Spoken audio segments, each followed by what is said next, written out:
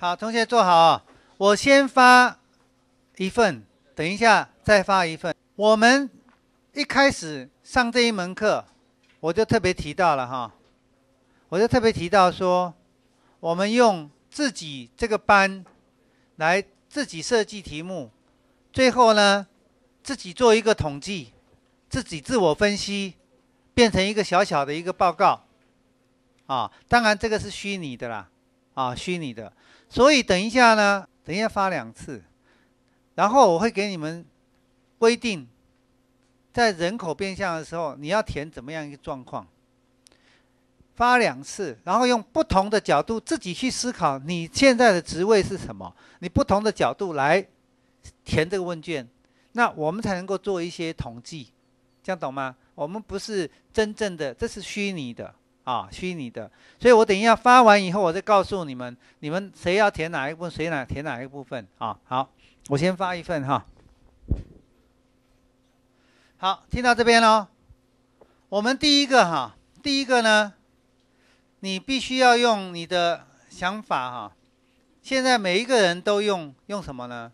用作业员，每一个人都用作业员的，就是说你是一个一般的职员。一般科技业的职员，一般科技业的职员哈，大概是属于那种业务啦、操作啦这种一般的人员的角度来写，好不好？每一个人用这种角度来看这件事情。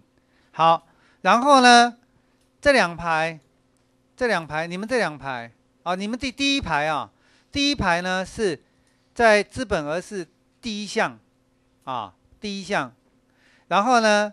那个员工数呢，在第二项。好，第一项好了，第一排资本和员工数都是第一项，第二第二个呢就是第二项，第三排就是第二第第三项，啊，第四排第四项，第五排第五项，然后第六排如果没有的，就任意写，这样懂吗？好，我再讲一次啊，因为我们等一下要模拟，我要写两次。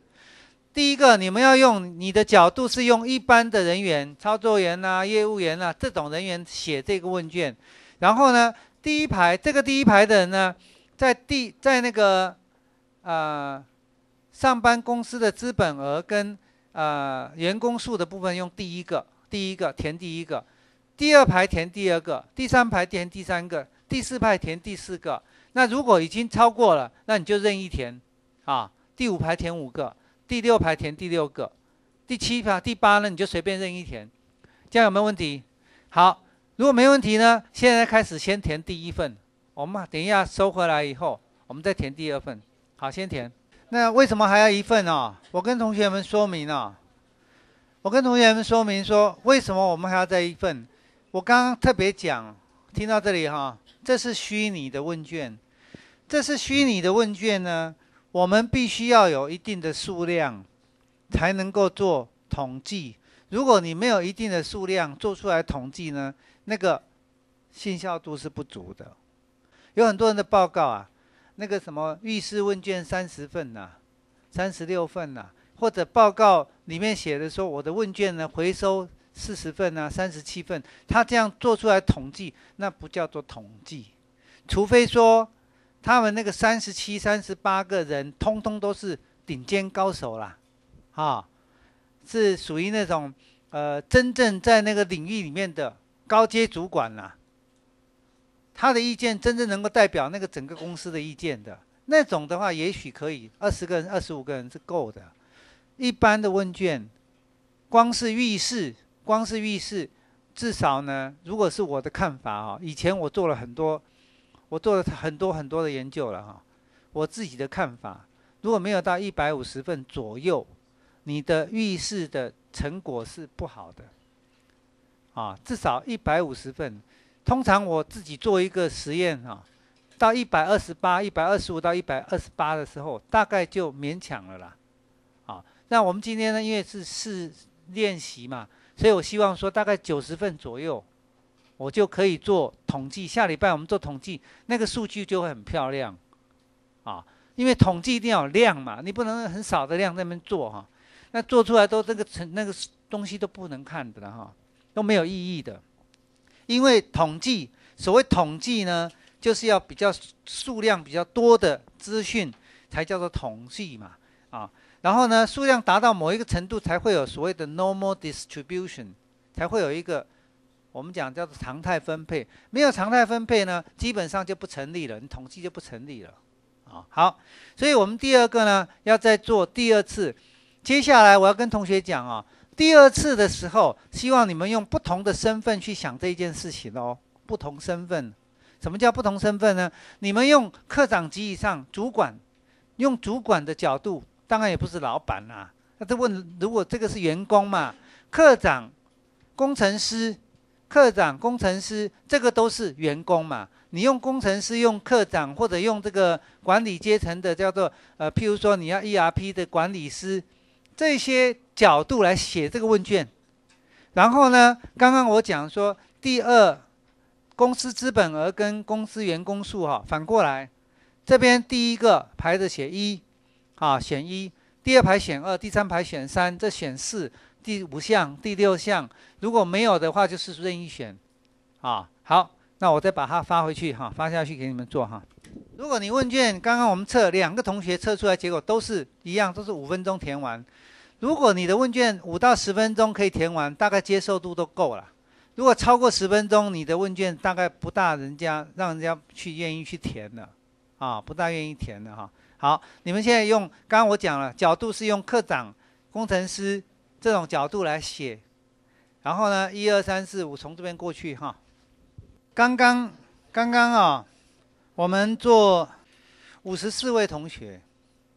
五十四位同五十三位同学哈，五十三位同学的话，应该是有几个？五十三位减七，四十六。四十六位里面呢，就等于说我们收到的问卷应该是加上差四十七位。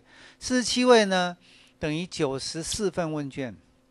九十四份问卷哈，我还在讲九十四问卷里面呢，我我刚刚把我自己的剖出来给你看哈，我。我自己剖出来的话呢，好，进来我的网页哈，我第一句话，这跟着我一辈子的话，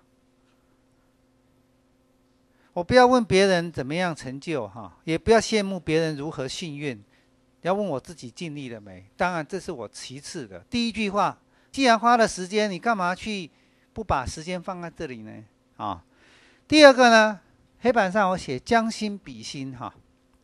我为什么叫同学帮忙？两位同学测写这个问卷要多少时间？五分钟，五分钟而已啊！